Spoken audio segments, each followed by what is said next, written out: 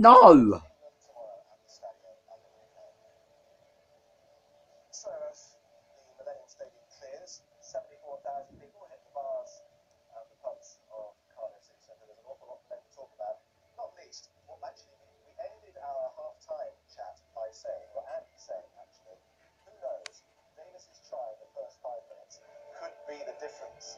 the sides end.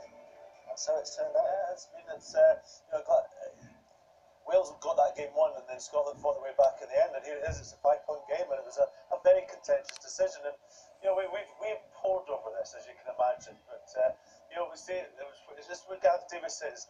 He's in front of the the ball there when Jamie Roberts touches the ball. Irrespective now that Duncan Taylor touches it well, Davies is never onside, and that's why it should be a try. I agree. Um, it's we see the pictures. We're going to get a close up of it. Jamie Roberts and Duncan Taylor go up. The first touch, we believe, comes from Jamie Roberts there onto Duncan Taylor's hand.